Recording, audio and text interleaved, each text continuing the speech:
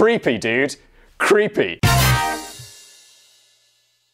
Hello everybody, welcome back to a brand new episode of Business Blaze. This one is terrible Kickstarter projects that, should, that should never have existed. My opinion of Kickstarter is kind of like, well, none of the projects should exist because they all end up being just a little bit right. What happens here is uh, Danny, he writes me a script. I will read it. Sam afterwards will add some fine vintage memes.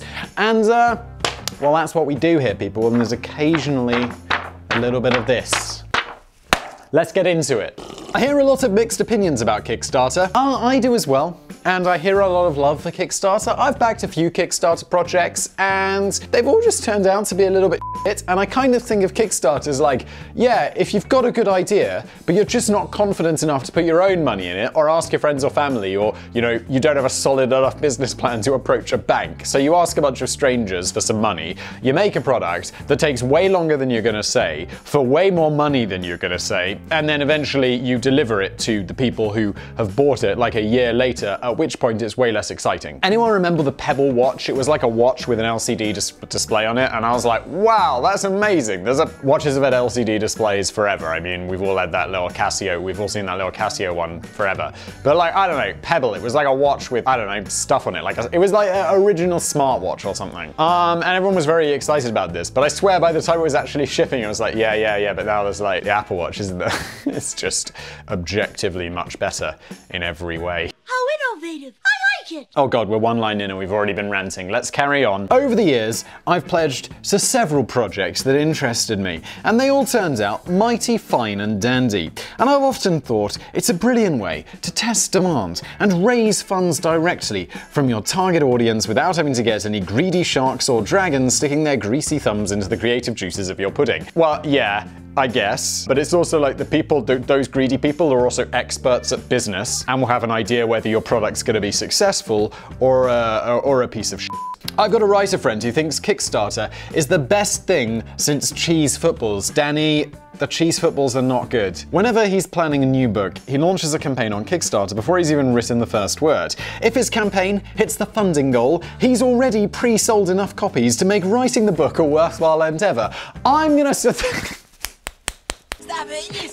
It's amazing that this exists. I mean, yeah, yeah, yeah. I'm gonna write a book about um, sexual predator clowns. And uh, if I raise my funding goal of $10,000 on Kickstarter, you'll have the book about sexual predating clowns. What are we doing? This is the worst idea ever. If not, he'll scrap the whole idea and move on to something else without wasting a year of his life writing about goblins that nobody wanted to buy. All right, I mean, oh god, I don't know. Am I changing my opinion as we go? This actually doesn't sound like a bad idea. Because I don't want to spend a year of my life writing about sexual predator clowns without, you know, knowledge that everyone's gonna buy it. But of course, I've also heard stories of people who pledged good money on relatively simple projects in which all the investment cash got pissed away on cocktails and kebabs, and customers were left waiting three years for a woeful product that fell far short of the original promise. I like to think that crowdfunding platforms have the potential to be an online melting pot of bold, new ideas, a crucible of creativity that cuts out the grey suits in the middle and directly connects the architect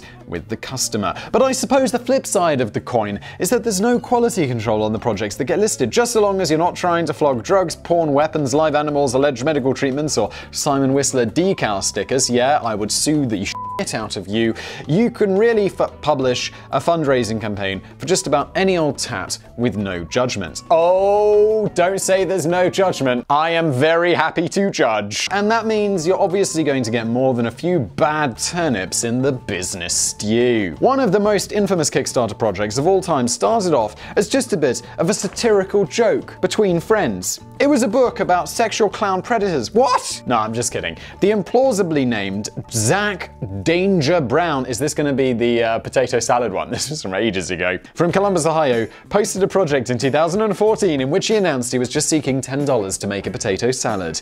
The project description was the exact opposite of a Business Blaze introduction, in that it got very quickly to the point. It, it read, basically, I'm just making a potato salad. I haven't decided what kind yet. Such modest ambitions quickly grew in scale as the project surprisingly went viral, helped in part by media attention during slow news days over the Independence Day weekend. As thousands of dollars worth of pledges started rolling in, Zach felt obliged to make a series of increasingly wacky stretch goals, including but Zach putting better mayonnaise in the recipe, the opportunity to choose the pota- a potato salad appropriate ingredients, get your own potato salad themed haikus composed in the donor's honor, get your name carved into a potato that will be used in the salad. I enjoy this. It's such brilliant satire of such a, a, a you know, the. Uh, of everything that's wrong with Kickstarter. The funding for the project eventually closed at $55,492. Jesus Christ, what am I doing with my life? Which, bearing in mind the original $10 goal, makes it one of the best performing crowdfunding projects in history. Kickstarter themselves seemed pretty pleased with the outcome, as they claimed to help introduce a stack of new members to the platform. They were also pleased with the outcome because I'm sure they get a cut of this right? Meanwhile, Zach ended up spending some of the money on a free Potato Stock 2014 festival in Columbus, while donating the rest to a civic foundation working to end hunger and homelessness in Ohio. That's nice of him, but I bet there was some pressure. At first, he was like, sweet, I could really use that money to like pay off my debt. And everyone was like, you gotta donate it to charity. And I was like, yeah, I guess. charity. Those assholes. So, as silly as it all sounded, it ended up developing into quite a successful and beneficent campaign. Bene- bene- beneficent? Is that how you say that word? Don't care. I just don't care. For everyone involved. Sadly, you can't really say that of any of this lot. Oh my god, was this just the intro, Danny? It's like two pages long, son. Number one. There aren't numbers on here, so I'm not going to say number one because I will lose track. The Laser Razor. They're going to be able to shave with lasers. I mean, that sounds dangerous, but also exciting. Zoop my nose! Uh, like many other people I know, including my great aunt Ethel, I spent a big chunk of this year growing a big, bushy, lockdown beard. Weird, I don't know anyone who did that. The growing trend seems to be rooted in the idea that it doesn't matter how ridiculous you might look, because you're only ever going to see the postman anyway, and he's not really bothered. Yeah, I'm, I, I, I mean, in growing my beard, no one ever sees me, so it's just the postman and my wife, and, uh, and, the, and the millions of people on the internet. My own lockdown growth developed into a surprise sprouting of many colours. It was kind of like a visual journey through the, the seasons via the medium of beard. People are often people I think people think I'm older than I than I actually am because they think I have grey in my beard. But I don't have grey in my beard actually. It's just little blonde hairs because for some reason, I'm like, my beard is a little bit half and half. Although it shows up less in the video, I'm realizing. It, it looks a bit weird, especially in the summer. Anyway, well, I don't know why I'm talking about my glorious beard, but I suppose I should think about shaving it off now. So maybe it's time to invest in a Skarp Laser Razor. It's a great name, though, apart from the Skarp part. The concept of shaving hasn't really moved on so much since the last 5,000 years, but the California based company, Skarp Technologies, looked set to change that in 2015. And now, I mean, Dollar Shave Club, you're not a sponsor of this episode, you're not a sponsor of Business Blaze, but uh, eh? Eh? But California based company Skarp Technologies looked to change all that in 2015. This was news to me, but apparently human hair contains uh, a chromophore is that, which can absorb certain wavelengths of light, okay? The idea behind the laser razor was that it would shoot a laser beam at your stubbly face, which would target these chromophores and zap away all of your follicles in seconds. That sounds terrifying. What are we doing? It also doesn't sound like it's real. Uh, I've never heard of a chromophore. Uh, the waterproof device would be powered by a AAA battery and would ensure that you shave off precious minutes from your morning bathroom routine while never having to stock up on replacement blades ever again. If this actually worked, it's pretty cool. It all sounds pretty cool. Danny and I. Same page. Uh, and plenty of hairy people agreed with me. The original funding goal was $120,000. Yet within the space of just three weeks, Skarp had managed to attract a staggering $4 million. What am I doing with my life? I just gotta make some fake product. $4 million? I'll just be like, yeah, yeah, yeah, uh, uh, we couldn't deliver the project and uh, I'm moving to the Bahamas with your $4 million. And I, am definitely getting a new identity. But I've got $4 million. I'm sure that can get me a really good, it probably can get me a better identity than I have now. Get me like Michael from Vsauce's identity. But others were a bit more skeptical. Although, the technology. Oh, and uh, you know, speaking of protecting your identity information online, be a good place for a Surfshark sponsorship, eh, Surfshark? You want to pick up a few more spots? You know what to do, email me. But others were a bit more skeptical. Although the technology was considered feasible to a degree, Scott, that's like saying Theranos was feasible to a degree because we can test blood for diseases. They just couldn't. Oh, and I made a joke previously about acquiring the Theranos trademark. And apparently, it is going defunct, so it is available to purchase, and there's like an application process. I have no idea of the legal implications of this. Like, I don't want to. It, it, seems you can just fill out this form, and it's like 250 bucks. And if it if the trademark lapses, it goes to you or something. But I'm also like, I'm not really a lawyer, especially not a U.S. patent lawyer. And I don't want to be like on the hook for like Theranos' crimes. I'm sure I'm, I wouldn't be. But if anyone is a lawyer watching this and understands this stuff and you want to help me acquire the Theranos trademark so we can do Theranos merch, so we can uh, call this channel Business Blaze by Theranos, email me. Uh, I would like your help. Uh, I won't pay you, so bear that in mind. Oh, I would maybe send you some free merch. But others were a bit more skeptical. Although the technology was considered feasible, Skarp were very skimpy on actual details, and some critics suggested the product had never hoped to be anywhere near as effective as a simple old-fashioned razor. Yeah, I mean, the razor's pretty good. I mean, it does a good job. I uh, shaved my shiny head this morning. Skarp always claimed to have a working prototype, but the dudes at Kickstarter began to grow doubts over this, and eventually decided to suspend the project until Skarp could provide proof of a working model in accordance with the platform's rules. Dude, they got up to $4 million before you did this Kickstarter? Get your shit together, allegedly. This was quite a noble thing for Kickstarter to do as it meant they were throwing away their 5% share of the funds collected so far, which would have been about $200,000. It's not a noble thing for them to do because if this did turn out to be a scam and Kickstarter turns a blind eye to it, how do you think that's going to look for Kickstarter? Kickstarter definitely thought, you know, well, we give up the 200,000 because, you know, if we push this fake product and people find out, you know, it's not going to look good for us. the FTC are gonna come a calling. Further investigation revealed that Skarp's so-called prototype didn't really live up to the promise at all, as it was a flimsy and fragile product which was only actually capable of cutting one hair at a time. Wait, cutting? I thought it was going to zap, zap your follicles with some turbo laser or something. So it probably would have added at least another six hours to your bathroom routine, but a boom boom. But at least you were still saving money on those rubbish razor blades. Yeah, I mean, I could pluck out all of my beard hairs by, by hand, and that would save me money on razor blades, but it would also destroy my face, and uh, I don't have time for that.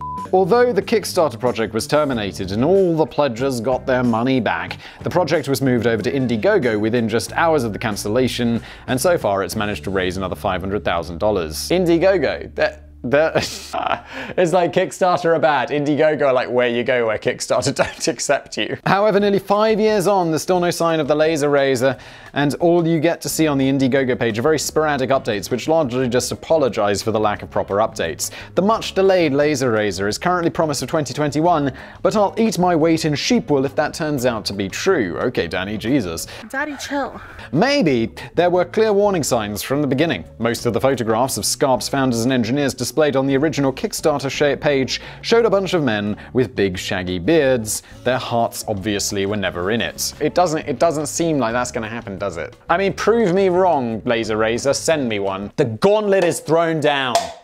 Moving the most magical place on earth. Moving just very briefly away from the specific Kickstarter platform, we often hear heartwarming stories of struggling families in the States who have managed to raise the money for crucial medical bills via other crowdfunding platforms such as GoFundMe. Now, this is something I can get behind. In a recent Business Blaze video, we mentioned how the father of Success Kid was in of the Success Kid meme was in need of an urgent kidney transplant and was able to raise $75,000 on GoFundMe, largely thanks to internet fame of his fiercely triumphant, sand-crushing toddler son. So it's a bit disappointing to hear that the official advice is to still steer well clear of this sort of thing. And with good reason. Really? Why? Oh, I mean, as a donor? Yeah, I mean, I'm not giving money to some random person. If I know, like, not because I'm a dickhead, but because there's so many scams. But if it's like, you know, a friend of a friend, then I will. In 2014, 37-year-old compassionate and caring special education teacher from Alabama called Jennifer Flynn Cataldo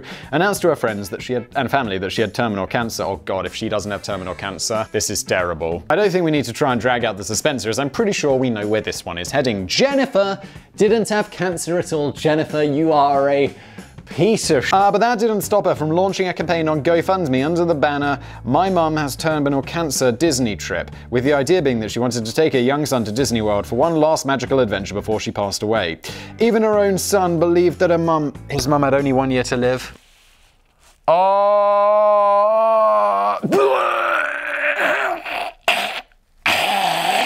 I would like to see you go to prison. Uh, she deserves it. She desperately deserves it. In total, Jennifer received over $38,000 in pledges from the two campaigns, and she also managed to drum up another $160,000 in generous donations from family members and friends before some of them started to get a bit suspicious. Uh, at least she's ruined her life. Jennifer eventually pled guilty to one count of wire fraud and one count of bank fraud, although 13 additional federal fraud charges were surprisingly dismissed. Don't dis. I spilt my water. You're getting too old for this shit. Don't dismiss that. What are you doing? The Enron guy went to prison. Bernie Madoff went to prison. Jennifer, to whatever her name is, Flynn, should be up there as well. She was sentenced to 25 months in prison in order to pay $81,000 in restitution, while GoFundMe returned all of the money to pledges. Okay, great. That's, I mean, 25 months in prison, I have to say. Normally, when I read these, and it's like, and then he, he stole like a million dollars, and then he went to prison for 45 years, and I'm like, I mean, he deserved prison. it does seem a bit harsh. I don't like 25 months not enough on this one. It may seem hard to comprehend how anyone could have managed to convince her closest friends, family members, that her young son and her young son that she was terminally ill. Why, why do you think that's hard? If I just wanted to lie to my family that I had cancer, I'd lie to my family that I had cancer. I don't, I don't do it not because it's impossible. I don't do it because I'm not a horrific piece of shit. Allegedly. Apparently, Jennifer was a previously upstanding citizen who fell to pieces when her brother died and she became addicted to prescription painkillers. A big wad of the money she accrued from fraudulent campaigns funded this expensive habit. Oh, brilliant, Danny. Thanks for not using that at the start. Now I sound like a right dickhead. As far as we can make out, the trip to Disney World never happened, so Mickey Mouse got ripped off as well. Uh, the meme restaurant. To lighten the mood a little, it's about time because this we had last last video, I made a whole Business Blaze about death. I'm editing and I'm like, oh god, this isn't funny at all. Like stand-up comedy people were right. To lighten the mood a little, here's an idea that looks ideal for our resident memologist, Sam. Ooh, it's exciting! After a hard day's memeing, I bet there's literally nothing else in the world that Sam would rather do than pop into the meme restaurant for a bite to eat, where everything on the menu is themed around a famous internet meme. Yeah, Danny, because everyone immediately after work likes going home and doing their work. It's like as soon as I get home, I just read the business news to my wife and she loves it. Never happened, never will. Sadly for Sam, he may have to wait a while longer for his dream to materialize, as the Kickstarter campaign never really took off. No! God, please, no! No! No! The concept was cooked up by 25-year-olds Catriona Crehan and her teenage brother Sean, who hoped to raise $300,000 to open their own meme restaurant in California. The planned menu would include such meme-tastic munchies as Lord of the Onion Rings, uh, one does not simply order one. I, I, I, don't get the, the joke there because I've never seen Lord of the Rings and never will. Uh, the Haram Burger, a burger intended to invoke the spirit of Harambe. The Covfefe Burger, a coffee dedicated to Trump's unique vocabulary. And my own favorite, the Rickroll, a red velvet cheesecake that's never going to desert you. Very clever, very clever indeed. Are these the jokes that they came up for? It, I feel like uh, if these aren't Danny's own, if these were actually the things from the Kickstarter page, wow, you should have done a better job because I thought Danny made these up in about four seconds. But it has to be said that the Kickstarter campaign seemed a little undercooked at best. In the FAQ section, the question, What experience do you have with restaurants? is answered with a cheerful, Us personally? None. But who says we can't learn? I don't know. That's pretty reasonable. I mean, I don't think most people who start restaurants have experience starting restaurants. Although, to be fair, they're probably just wasting their own money and the bank's money rather than be like, hey, random internet strangers, pay for my restaurant. But the biggest problem seemed to be with this. Also, can't you can't just name like Lord of the Onion Rings. Peter Jackson or whoever that. Did he do Lord of the Rings or is it the other dude, James Cameron? It doesn't matter. I get them confused all the time. I don't like any of their movies. Um, wait, who did Terminator? I like Terminator. He's gonna sue the out of you. You're like, yeah, Lord of the Onion Rings. Uh, well, here's a cease and desist and we're seeking damages. It's why I can't just name this channel Business Blaze by Theranos now. I have to acquire the trademark first. But the biggest problem seemed to be with the structure of the pledge tiers. A Kickstarter campaign usually includes a low-rung pledge option of about a dollar, which gets you a thank you or a keyring or something equally crap, and then you gradually move up to the bigger perks. The cheapest pledge tier for the meme restaurant was a staggering $5,000, which got you a special certificate signed by the creator and 20 free visits to the restaurant. The biggest tier of $10,000 threw in an invite to the opening day, and you got a dish on the menu named after you. But the world wasn't quite ready for Whistler's walnut balls. Yeah, definitely not. I'm not spending ten thousand dollars on something like that. you smoking crack. The campaign was ripped to shreds on social media and only managed to attract a grand total of $6.66 before the creators pulled it from the platform within 72 hours out of sheer embarrassment. Even the backers were very vocal in the criticism, well, or one of them. The first backer posted on the campaign page, This is a terrible idea, while another backer revealed that I only pledge to see how badly this product will eventually fail. Catriona later claimed that the whole thing was just meant to be satirical, but I'm not buying it. Oh my god, this is the biggest thing ever. Like, someone will leave a YouTube comment, and I I'll absolutely burn the shit out of them. And then it'll be like, oh, Simon, you took the bait, it was just a joke. And I'm like, yeah, you're hilarious. I bet it was. You cockwomble. She posted, as a social experiment, we created a horrid Kickstarter as the ultimate trolling. I'd like to thank my mum, my dad, and all the saddos who made this possible. Thanks for the laughs, guys.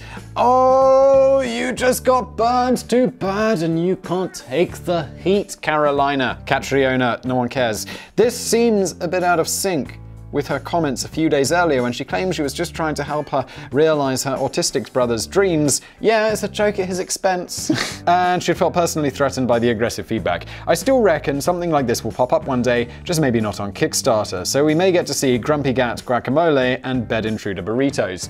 Yeah, we won't, because they'll sue the out of you. Is it me you're looking for. Uh, this is the next item on the list. I know we usually like to focus on dramatic failures, but I just wanted to give a very quick mention to a Kickstarter project that quite incredibly got funded. Dude, I mean, there's so much that gets funded on Kickstarter, don't be surprised. I'd like to think that most of us have seen the cringe-worthy cheese fest that is the 1984 Lionel Richie music video for Hello. Danny, I have not. It's one no one is surprised by this. It's one oh, where Lionel Richie plays the part of an acting teacher who appears to fall in love with a blind student. He spends most of the video mooching and singing, Hello, is it me you're looking for? Oh god. That's not appropriate. Until the thrilling climax where the blind student reveals that she's made a surprisingly accurate clay sculpture of Lionel's big head. What the is going on? Nearly 30 years later, this proved to be the inspiration for a Barcelona based art collective called Hungry Castle, alright, who decided they wanted to make a giant 3 meter tall inflatable model of Lionel Richie's head to show off at the Bestival Music Festival on the Isle of Wight in 2013. What's going on? They were originally hoping to raise £4,900 for this frankly bizarre art installation, but ended up receiving over £8,000 in pledges and achieved their dream of getting Lionel's big head to face the audience of the festival with pride. What is going on? This is just absurd. If it wasn't, if that wasn't quite strange enough, Lionel's head was billed as a fully immersive experience. Festival goers could actually walk inside the back of the inflated head one at a time. Once inside, you'd find nothing more than a big telephone, which would start ringing upon your arrival. I hate art sometimes. You can never say, like, I hate art. Like, I hate all art. Because there is some art that is fantastic, but also, this is not art.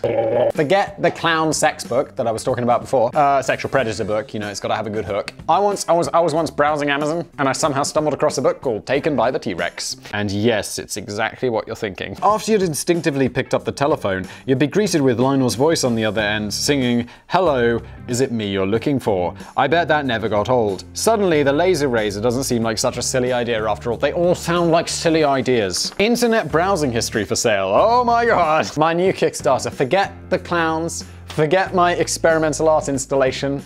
I'll kickstart my internet browsing history. It's really weird. I'm not sure anyone would be particularly interested in scrolling through my internet history. Just taking a quick look now, the first things that pop up on my screen are elevator designer jobs, cheap cutting tools, how many cents does it cost to produce a decal sticker, does Kickstarter have anything to do with communism? I love those last two. It's because I have stickers on my merch store and they're so outrageously expensive. But it's like, I think they're like $7 or something. Don't buy them. Don't buy them. You can go to uh, purchthemerch.co to buy the reasonably priced merch like t-shirts, which I feel like 20 something bucks. That seems quite reasonable. But like, you can buy like a single sticker for like $7. And I think they cost like, I get $2 out of that. And I was just like, I could make them like cost nothing, but they'd still be like five bucks or something insane. And I was just like, I don't know, just don't, don't buy them. I mean, if you really want to, if you're like absolutely balling rich, I mean, I, I, really think like having a Simon Whistler sticker on your laptop is more is like more of a flex than having like I don't know some turbo Mac mega computer or whatever. Uh, back in 2017, a bloke called Adam Mc Eleni put forward an intriguing proposal to the crowdfunding community. He wanted to launch a website called Search Internet History, in which you could search the browsing history of specific US congressmen, executives, and their families. Dude, that doesn't sound legal.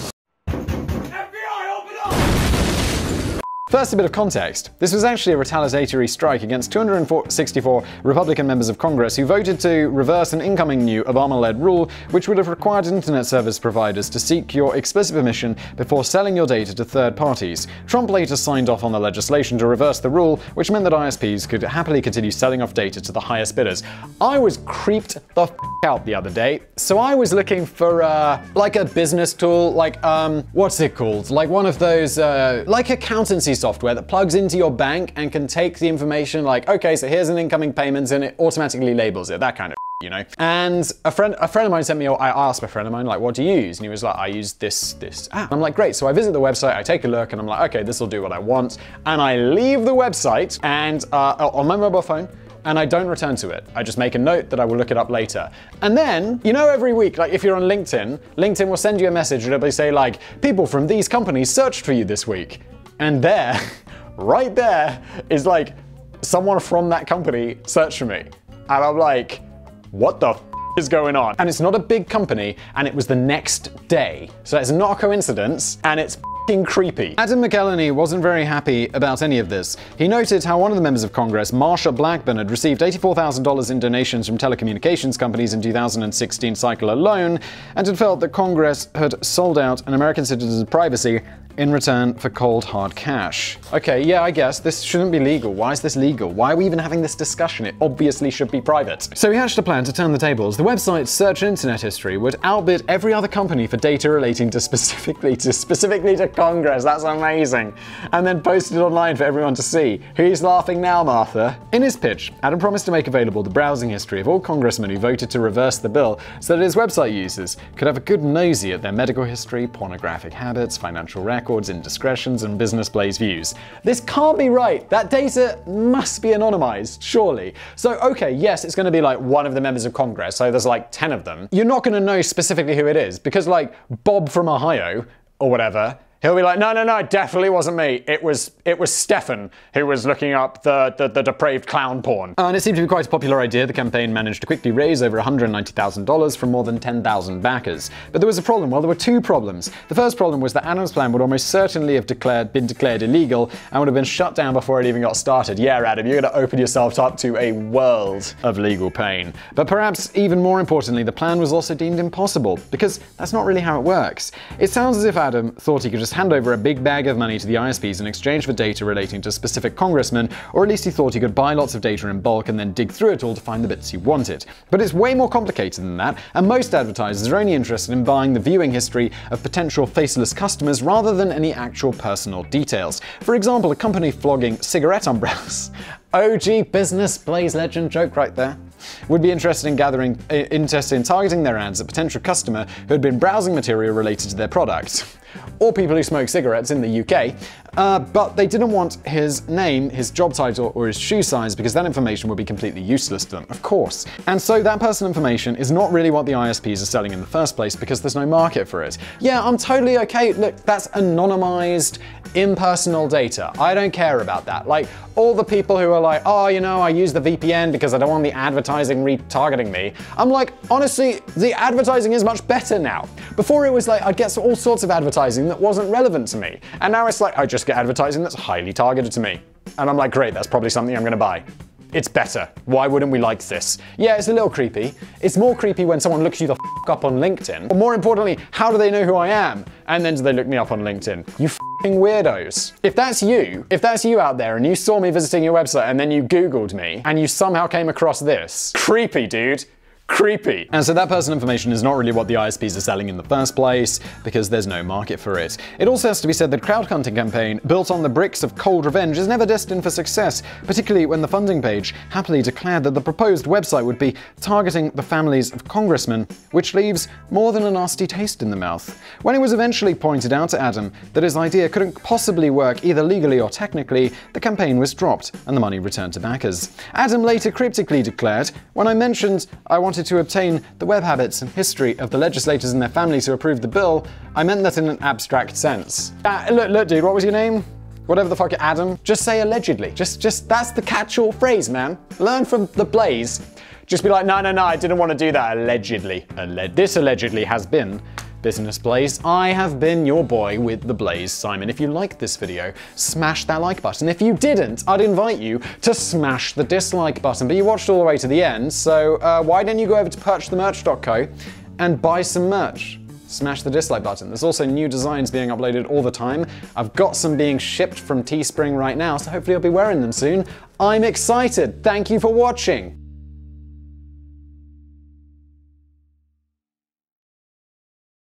I don't do it because I'm not a horrific piece of shit.